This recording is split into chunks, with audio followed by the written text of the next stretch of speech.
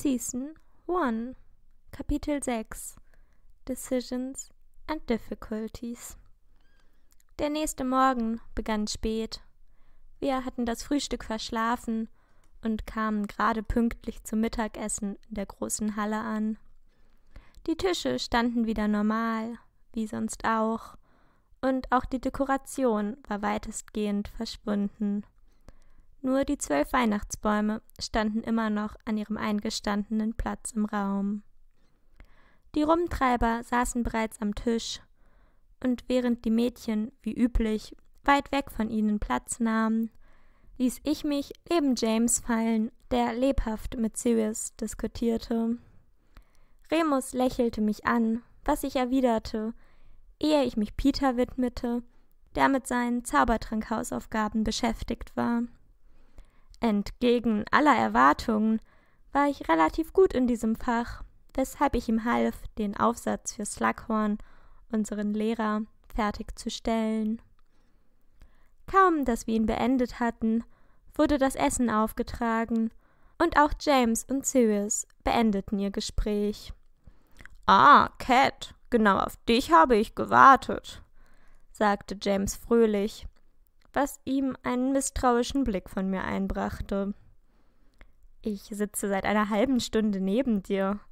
Und das fällt dir jetzt ein? Was? Ehrlich? Wow, habe ich gar nicht mitbekommen. James wartete gar nicht erst auf eine Antwort, sondern widmete sich voll und ganz seinem Mittagessen. Ungläubig blickte ich zuerst zu ihm und dann zu den anderen Jungs, bevor ich mich an Sirius wandte. Was habt ihr mit ihm gemacht?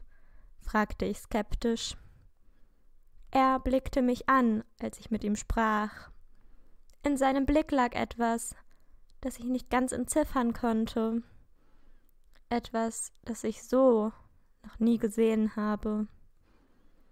Sirius antwortete mir nicht, was einer der Punkte war, der mich zweifeln ließ. Der zweite Punkt war die Tatsache, dass er anscheinend wütend auf mich war. Remus erbarmte sich letztendlich, mir zu antworten. James ist seit gestern Abend so drauf. Wie ich aus seinem verträumten Gestammel entnehmen konnte, hat Lilly anscheinend mit ihm getanzt. Ich grinste. Oh, Jamie, ich hätte nie gedacht, dass ein Mädchen es schaffen würde, so etwas mit dir zu veranstalten.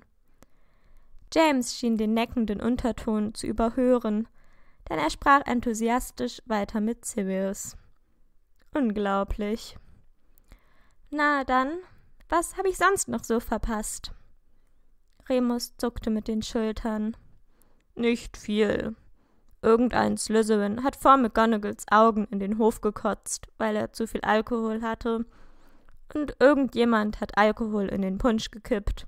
Das Übliche also. Das Übliche, stimmte ich zu. Wir wurden von einem Kreischen unterbrochen, das vom Himmel hinab zu uns wehte. Die Eulenpost traf ein. Schon von weitem erkannte ich den schwarzen Kauz meiner Eltern, und als er vor mir landete, steckte ich ihm einen Keks in den Schnabel, den er freudig fraß, ehe ich den Brief von seinem Bein entfernte. Liebe Cat, wir haben mit den Potters gesprochen und sie bieten dir und deinen Freundinnen an, die Weihnachtsferien bei ihnen zu verbringen. Sie sagten, je voller das Haus, desto besser. Wie du weißt, müssen dein Vater und ich leider auf eine Geschäftsreise nach Japan und können deshalb nicht zu Hause sein. Sie holen euch am ersten Ferientag vom Hogwarts Express ab. Wir hoffen, du freust dich und wünschen dir noch viel Spaß in Hogwarts. Genieß die Ferien, Kind. Und wir sehen uns Silvester. Alles Liebe, Mom und Dad. Freudig zeigte ich James den Brief, der mich daraufhin einfach mal in den Arm nahm. Ich teilte den Mädchen schnellstmöglichst mit, was uns erwarten würde. Und auch wenn ihre Freude sich in Grenzen hielt, die Ferien mit den Rumtreibern zu verbringen, blickten wir freudig auf diese Wochen hin. Wir verbrachten den Tag faul im Gemeinschaftsraum, erledigten die letzten Hausaufgaben und sprachen miteinander. Alle, außer Sirius und ich. Aufgrund dessen, dass er den ganzen Tag noch kein Wort mit mir gewechselt hatte, zog ich ihn am Abend kurz vor der Sperrstunde aus dem Raum und raus in den Flur. Okay, was ist dein Problem? Fragte ich provokativ nach, die Arme vor der Brust verkreuzend. Keine Ahnung, wovon du redest. Ich habe kein Problem, antwortete er, genauso herausfordernd. Ich verdrehte die Augen. Was für ein Idiot er doch manchmal sein kann. Ehrlich. Ach ja, und deswegen hast du den ganzen Tag noch kein Wort mit mir gewechselt? Das ist noch nie vorgekommen. In all den Jahren, die wir uns kennen. Noch nie. Die letzten zwei Wörter betonte ich. Du willst wissen, was mein Problem ist? Fein, aber nicht hier. Er zog mich ungefragt vom Porträteingang weg, wo die fette Dame schon interessiert gelauscht hatte. Der konnte man noch nichts erzählen, ohne dass es gleich das ganze Schloss erfuhr. Und in Hogwarts gab es eh keine Geheimnisse. Wir endeten wie am Abend zuvor im Raum der Wünsche. Der gleiche Raum wie am letzten Abend. Ich schloss die Tür hinter uns. Sirius stand dicht vor mir und blickte mir in die Augen. Du willst wissen, was mein Problem ist? Du bist mein Problem, Cat. Du. Ich schnaubte. Ach, und wieso das? Was habe ich getan, dass du so sauer auf mich bist, hä? Er schüttelte ungläubig den Kopf und trat einen Schritt weg von mir, die Bücher, die auf dem Tisch neben uns lagen, herunterwerfend. Das fragst du noch? James hat es dir gestern Abend selbst gesagt. Und ich weiß, dass du es mittlerweile abgeleitet hast. Du weißt es. Du weißt, worum es geht. Du weißt, was ich für dich fühle und du hattest es nicht nötig, am gestrigen Abend auch nur ein Wort darüber zu verlieren. Ich lachte auf und trat auffordernd näher an ihn heran. Was hätte ich denn bitte sagen sollen? Super, Sirius, ich finde es toll, dass du etwas für mich fühlst. Das wird unserer Beziehung bestimmt helfen. Oder hätte ich doch lieber sagen sollen, dass ich das gleiche fühle? Er deutete auf mich. Zum Beispiel, ich weiß, dass es extrem unpassend ist. Und ich weiß, dass du nicht das Gleiche für mich fühlst. Aber einfach nichts zu sagen ist. Sirius kam nicht dazu, seinen Satz zu beenden, denn ich überbrückte die letzten Schritte zu ihm und küsste ihn. Er war einen Moment einfach nur starr vor Schreck. Ich schloss die Augen, als ich eine seiner Hände an meine Wange legte und er den Kuss intensivierte.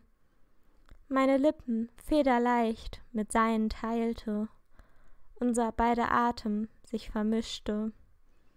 Ich keuchte auf, als er mich weiter gegen die Wand drängte, und er löste sich schwer von mir, als meine Hände zu seiner Hose wanderten. Ich spürte seine Stirn gegen ihre, als er schwer keuchte.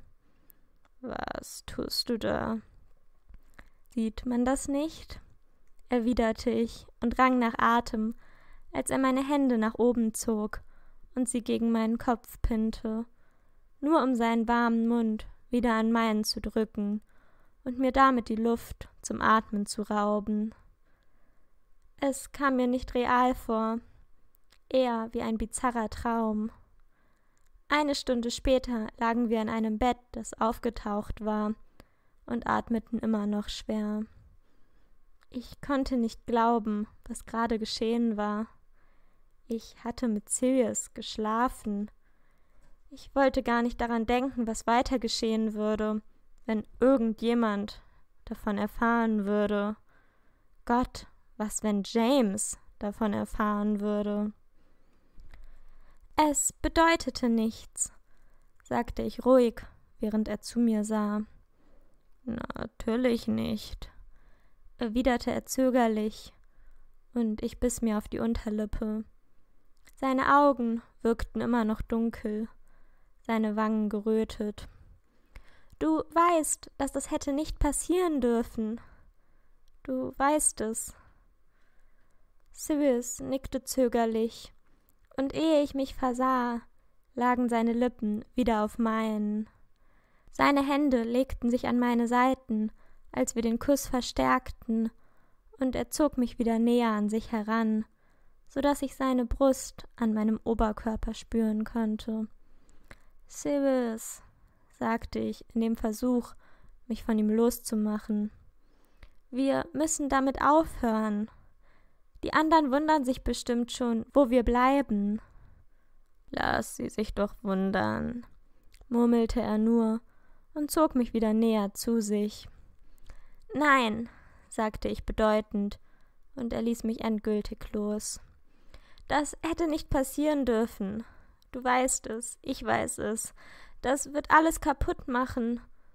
Und ich will nicht, dass alles kaputt geht.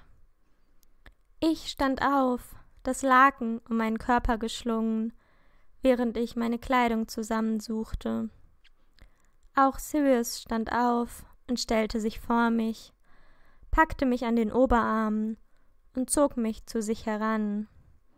Catherine, es wird nichts zwischen uns ändern. Versprochen. Es wird nichts passieren. Du weißt doch selber, schon jetzt, dass sich das hier nicht einfach so beenden lässt. Ich fühle es und ich weiß, dass du es auch fühlst. Es ist wie eine Sucht. Ich muss dich einfach berühren. Ich löste mich von ihm. Nein, ist es nicht. Wird es niemals sein. Gib es doch einfach zu, Cat. Er zog mich wieder zu sich. Er zog mich wieder zu sich, diesmal an der Hüfte, als er das Laken von meinem Oberkörper entfernte. Niemand wird davon erfahren. Das hier bleibt unter uns. Sollte ich wirklich darauf eingehen? Was, wenn es nicht funktionieren wird? Ich muss darüber nachdenken, sagte ich nur. Er nickte. Wir zogen uns an, und kurz bevor wir aus dem Raum traten, küsste er mich noch einmal. Wenn du das jemandem erzählst, werde ich dich töten, drohte ich ihm, und er grinste weiterhin, während er seine Hände in die Hosentasche steckte. Meine Lippen sind versiegelt. Auf was hatte ich mich eingelassen?